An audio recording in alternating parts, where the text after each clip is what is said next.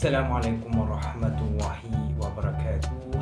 Allahumma salli ala Muhammad wa ala ali Muhammad. Bersama dengan saya Arif Islam dan pada hari ini saya nak unboxing telefon yang baru saja saya terima di mana saya buat pembelian pada sale 12.12 di Shopee. Sebelum ni saya cuma guna telefon biasa sebab saya berpendirian kalau saya nak guna sesuatu gadget yang mahal. Saya pastikan gadget tu boleh mendatangkan manfaat kepada orang ramai. Kalau setakat untuk kepuasan diri sendiri cukuplah saya dapat buat panggilan keluar masuk whatsapp mesej orang dapat ambil gambar dapat ambil video kenangan itu cukup memadai. Tetapi uh, bila saya terjebak menceburi dalam bidang youtuber saya nak dapatkan kualiti video yang terbaik dan cantik lah.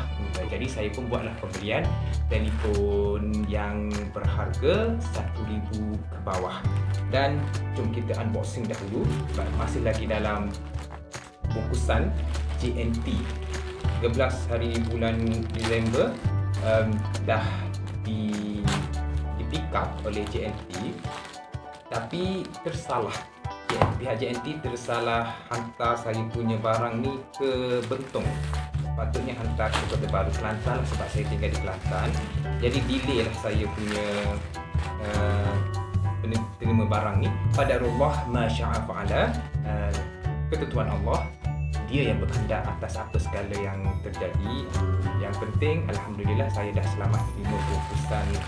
Uh, sebelum saya buat pembelian telefon ni saya terlebih dahulu tanya Encik Google dan Mr. YouTube lah.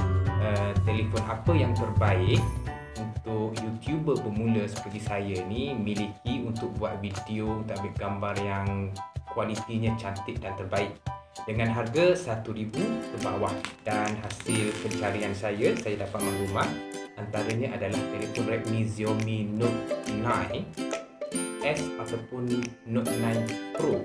Dan bila saya buat uh, sedikit saya dapati Note 9 S dan Note 9 Pro ni dia hampir spesifikasi spek dia sama bentuk dia pun sama ada apa yang berbeza pun cuma berbeza pada megapiksel kamera S cuma 48 tapi uh, Pro uh, dia 64 megapiksel jadi uh, harga dia pun berbeza dari antara 50 ke 100 ringgit beza dia S dengan Pro bergantung kepada kedai yang kita belilah.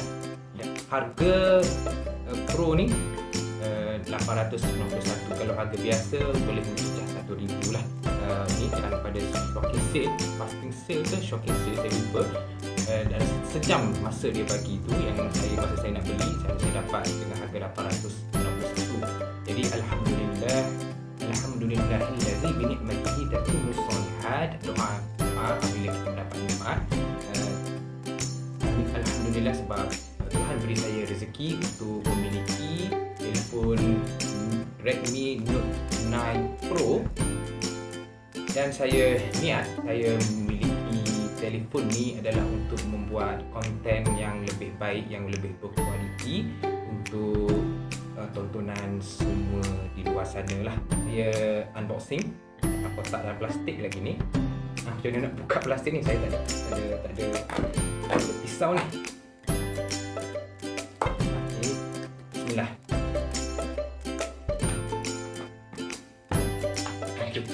ada pisau kunci pun jadilah. Uh, telefon Redmi Note 9 ah ketat lagi baru kan? Okay. ini saya beli ni yang basic lah bagi casing. Casing basic lah. Casing basic. Dan ini telefon Note 9 Pro yang saya beli. Ini warna green forest Um, dan dia ada bagi sekali dengan screen protector. Charger itu saja uh, yang ada dalam kotak ni. Charger Note Pro ni dia ada 4 kamera. Note 9 Pro dia 64 megapiksel. S 48 megapiksel. Yang kedua dia punya uh, fast charge. Note 9 Pro lebih sedikit pantas tapi masih lagi tak, tak kurang sangat beza dia. Dan yang ketiga beza harga lah. Dia buka stick dan telefon ni. Bismillah. Kita tengok saya dah on tadi. Dan kita tengoklah uh, perbezaan view saya ambil guna telefon lama saya yang dengan telefon yang baru saya beli.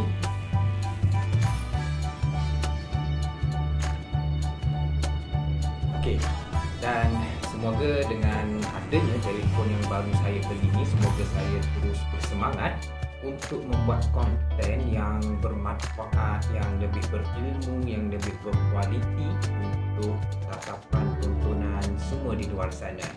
Dan saya mendoakan semoga kita dilimpahkan rezeki oleh Allah Subhanahu Wa Taala dan nasihat saya kepada YouTuber di luar sana pastikan konten yang kita buat itu terlebih dahulu ada ke tidak uh, sedikit uh, moral, nilai ataupun ilmu yang boleh kita selitkan dalam konten video kita di YouTube bukan segala hiburan tapi semoga akan menjadi saham pahala untuk kita terutama orang.